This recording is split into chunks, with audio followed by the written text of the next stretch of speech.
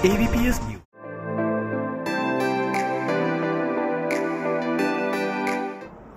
नमस्कार है और आज हमारे साथ हैं संडीला से विधायक श्री राजकुमार अग्रवाल जी। बात करेंगे कि गाँव में किन किन समस्याओं से लोग जूझ रहे हैं उनकी समस्याओं का निराकरण कैसे हो सकता है अगर ये इस बात को विधानसभा तक लेके जाएँगे। विधायक जी आपका स्वागत है हमारे इस कार्यक्रम में।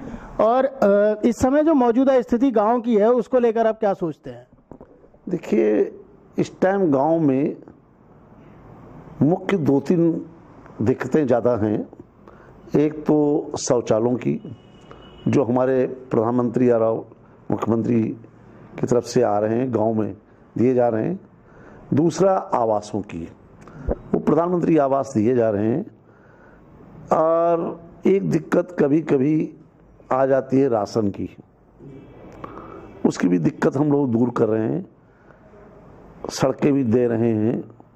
जितना अच्छा कार्यक्रम हमारी भारतीय जनता पार्टी कर रही है, शायद ही कोई सोच गाँव के, गाँव की तरफ़ सोच केवल भारतीय जनता पार्टी की है इस टाइम देखिए, स्वास्थ्य को लेकर भी सरकार काफ़ी गंभीरता दिखाती है और इस बात को कहा भी गया है कि गाँव का स्वास्थ्य हमारे लिए बड़ा ज़रूरी है।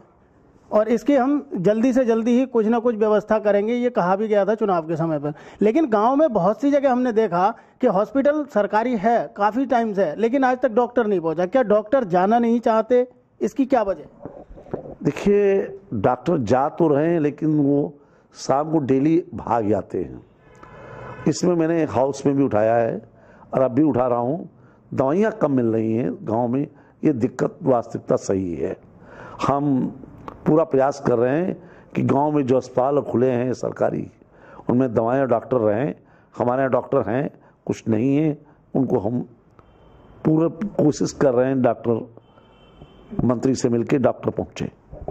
अच्छा कुछ समय पहले बीटीसी की जगह निकली थी, जिसमें ज़्यादातर, लगभग 70 परसेंट के आसपास गाँव के युवाओं ने फॉर्म भरे थे और वो सेलेक्ट भी हो गए थे, लेकिन अचानक उन पर रोक लगी। रोक लगने के बाद मामला कोर्ट पहुँचा और जिसमें वो लोग जीत गए। अब डबल बेंच में सरकार की तरफ़ से मांग रखी गई है। देखिए ये तो सरकारी बता पाएगी। इसके बारे में जानकारी हमें है नहीं तो हम इसमें कोई टिप्पणी नहीं कर पाएँगे। अच्छा किसी समय में ये भी कहा गया था कि गाँव जो होता है एक गणराज्य के रूप में होता है। वो अपनी खुद की सरकार वहाँ होती है जैसे सरपंच ग्राम प्रधान या बीडीसी मेंबर वगैरह ये सभी लोग होते हैं तो उनकी भी एक बॉडी होती है।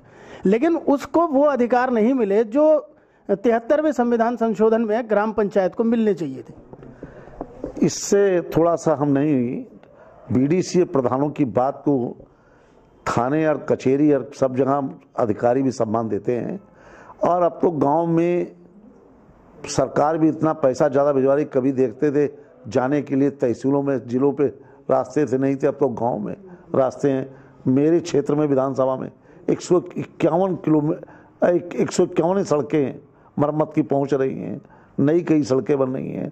तो इसलिए विकास तो काफ़ी अच्छा गाँव में, ये सरकार भारतीय जनता पार्टी की गाँव की तरफ़ जा रही है। अच्छा एक चीज़ और है, जो गाँव की बात है, वो ब्लॉक से शुरू होती है। ब्लॉक जो होता है, गाँव, जो पंचायत का केंद्र माना जाता है।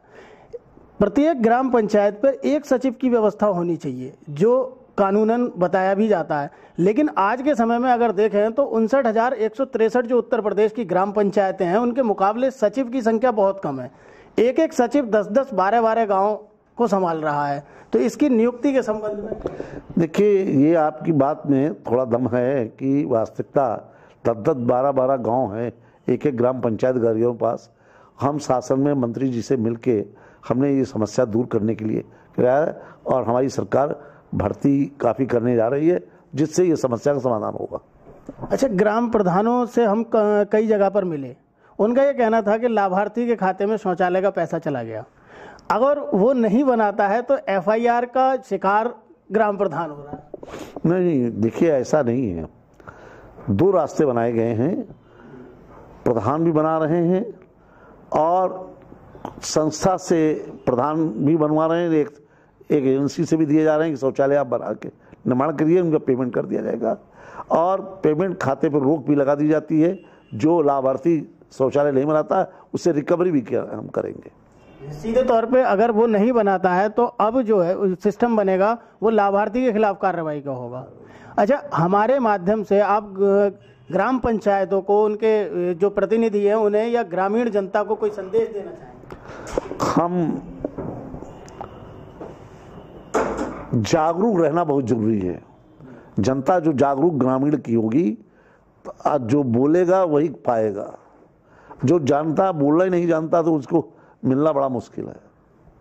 और मैं तो कहता हूँ, किसी भी स्तर पर शिकायत उनको करना पड़ जाए, गाँव में काम ना हो तो ज़रूर करें। और मेरे लायक, मेरे क्षेत्र के, मैं तो अपने गाँव वालों से कहता हूँ, सबसे मुझे दें, सीधे, मैं सप्ताह में तीन दिन देता हूँ, सीधे जनता से मिलता हूँ। गरीब से गरीब सीधे मिलता है। तो आपके कहने का मतलब है अगर उनकी आवाज़ को उनके ज़िले तहसील पर नहीं सुना जाता है तो वो आकर सीधे लखनऊ की तरफ़ रुख भी कर सकते हैं लिख सकते हैं। हाँ रुख भी कर सकते हैं। जिन डीएम को दें हमारे जनप्रतिनिधियों को दें विधायकों को दें सांसदों को दें हमें भी दें। अच्छा आने वाले समय में सरकार की ऐसी कोई योजना जिससे ग्रामीण लोगों को कुछ राहत उन चीज़ों से मिल सके जिनसे वो अब तक जूझते चले आ रहे हैं? देखिए हमारी सरकार की योजनाएँ बहुत अच्छी अच्छी हैं। हम पीने का पानी गाँव गाँव पहुँचा रहे हैं और टंकी भी अब आज भी मुझे जानकारी हुई, कई पानी टंकियाँ भी गाँव में, अच्छी आबादी वाले गाँव में जा रही हैं और शौचालय भी दे रहे हैं, आवास भी दे रहे हैं। तो गाँव में अच्छे, अब तो एक काम और भी कर रहे हैं कि जैसे सब्सिडी उज्ज्वला में हम डायरेक्ट सीधे लाभार्थी को दे रहे हैं। वैसे ही कैरोसिन पे भी हम करने जा रहे हैं। कैरोसिन किसान ले और उसको सब्सिडी सीधे उनके खाते में जाए। अच्छा जैसे किसानों के लिए सिंचाई के लिए डीजल पे भी सरकार कुछ करेगी? देखिए डीजल पे वैसे भी गवर्नमेंट ने का झुकाव जो है जनता के प्रति है। गाँव गाँव में पेट्रोल पंप खुलवा दिए हैं। कई जगह ब्लॉकों पे खुल गए हैं। मेरा मतलब किसानों को कुछ इससे राहत मिले देखिए इस पे तो सरकार की योजना केंद्र की है और हमारे यहाँ प्रदेश में ऐसा कोई अभी योजना नहीं है कि डीजल पे कोई छूट दीजिए। विधायक जी आप भी सरकार के प्रतिनिधि हैं। गाँव में पहले नहर हुआ करती थी आज भी हैं। बहुत सारी जगह पर आज भी नहर हैं लेकिन उनमें बरसों से पानी नहीं आ पा रहा। देखिए ये इसमें आपके बात में सच्चाई इसलिए नहीं है कि कभी पानी नहीं आया होगा लेकिन मेरे क्षेत्र के लोग बैठे हुए हैं कभी टेल तक पानी आ गया है। इस टाइम का मैं रहने वाला हूँ वहाँ पे नहर है और बाग भी मेरा। मैं जहाँ मैं रहता हूँ संडीले में टेल तक पानी आ गया है अभी अभी पंद्रह दिन के। अब आप पता लगाइएगा आपके गाँव में पहुँच गया होगा। माननीय मंत्री जी का माननीय मंत्री जी ने सिंचाई मंत्री जी ने जो प्रयास किए हैं वो सराहनीय उनको मैं बधाई भी देता हूँ। कल मैं मुख्यमंत्री जी को भी देकर आया हूँ कि सिंचाई में सबसे टेल तक पानी पहुँचा है मेरे क्षेत्र में सब जगह पहुँच गया। अच्छा टीचर और जो चिकित्सक हैं, इनकी व्यवस्था गाँव में कब तक हो सकती है सरकारी? देखिए, टीचर काफ़ी पहुँच गए हैं। हम लोग शिक्षकों शिक्षकों की भर्ती करने जा रहे हैं और काफ़ी, हर डेढ़ किलोमीटर पे एक स्कूल प्राइमरी होगा। गाँव के बच्चे वहाँ स्कूल में पढ़ने भी जाएँगे। अभी कभी नहीं हुआ था हमने मॉडल स्कूल की तरह उनको ड्रेसें, कपड़े सब उपलब्ध कराए, जूते दिए मतलब उनको एक अच्छे सम्मानित जगह पे उनको सम्मान दिया है, गाँव के। तो ये थे राजकुमार अग्रवाल जी, विधायक भाजपा। जिन्होंने अपनी सभी बातें हमारे सामने रखी और हमारे सवालों के जवाब भी बड़े बेबाकी से दिए और उम्मीद करेंगे कि जो गाँव की समस्या है, उसे लेकर ये विधानसभा में आगे भी आवाज़ उठाते रहेंगे। Ajay Pratap Singh ABPS news Lucknow.